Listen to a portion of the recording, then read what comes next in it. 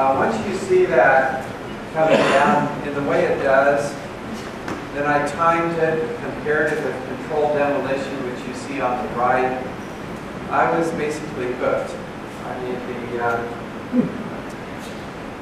the way that thing falls down is not just because it was hit by a jet. It actually wasn't even hit by a jet. So, you know, there, there's something very strange about this building step and the way it comes down. I'm not going to spend a lot of time on this tonight. In past discussions, I have done so, but um, I want to move on to some new material. And if you would like to, you know, I'd like to point out that the 9/11 Commission didn't even mention the collapse of Building 7. I'd like to tell you how in the FEMA report, but I just don't have time to into that. The FEMA report uh, said that our best hypothesis, which was fires plus some damage, has only, for Building 7 now, our best hypothesis has only a low probability of occurrence. We had time to go into that. The uh, NIST report on Building 7 is way overdue. It's supposed to be out this year, and when it comes out, see, they, they commissioned another company to do it. So when, what they asked this other company to do was to look only at floors 8 to 46. This is a 47-story building with subfloors. And so they basically asked them to put blinders on as they consider the class of 7. Rather disappointing to uh, us scientists and engineers. Many of us now are writing in this uh, Journal of 9/11 Studies. So for those of you who would like to get a good introduction to 9/11, I highly recommend this journal. It has, uh, I believe, the best peer-reviewed papers, the most. We have over 30 papers now in the journal. Mine is in there, why indeed, with the, the TC buildings completely collapsed. Here's some of the other authors who, who you'll find in the uh, journal. There are three physicists now published in this uh, Journal of 911 Studies. Professor Griscom is a fellow of the American Physical Society. I was greatly relieved when he uh, joined the effort. Had talked about 9/11.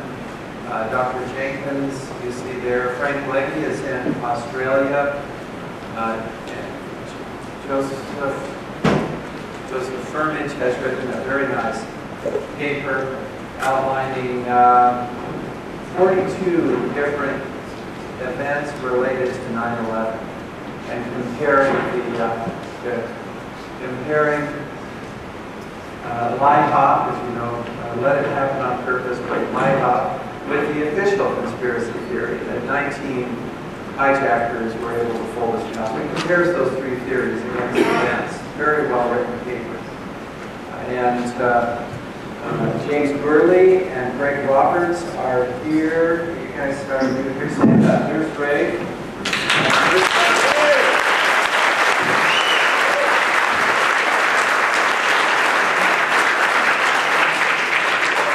know, it's not just me or Alex or Webster. You know, there's a lot of us now uh, working in this field. I enjoyed all the talks today, by the way. Now, um, by the way, uh, Greg Roberts had brought his paper is available for a small fee and will help the conference finances. So I appreciate his work on that. So, part one, there are two parts. One is the uh, flowing orange hot material, which I, I did If you could speak up somehow because it's echoing and you're, you're not very loud, so if you need you need to like, speak Yeah. up or Is something. that- We're gonna interrupt real quick. move it. I would- You know, Professor Jones, let's just get it working right, then you can start, because yeah, it's, it's almost This is where I untenable start. in the area. Something's brushing up against something, and that, Oh, that one, let's get it placed right to do it. You have to EQ the sound. He's got it. Okay, I'm gonna start here as well. It's gonna start. I'd, I'd double the sound level. Or I could interpret for you, whisper in my ear. And we have these iron core gobulets of steel. Interpreting for you probably haven't seen, there, that's a little louder. Thank you, gentlemen, thank you. Okay, so if you look then at this video, you'll see this is from Japanese TV. This shows the orange uh, material flowing out. Do it again. Uh, The South Tower. This is a view that uh, just came out recently. That obviously was taken on 9/11. See that orange material, very distinctive, and you see the white ash floating away. See it one more, there. See, unmistakable, large quantities of this uh, material. And uh, that's what we want to talk about. What is that orange flowing material? Let's see if this will come back now. Sometimes it's a little tricky because I have to go out to get it. Here we are. I think we're back. Yeah. Okay, we'll see another view of this now. Um, this isn't quite as steady. This is an amateur photographer uh, trying to capture this view of this material. See the white ash flowing away again.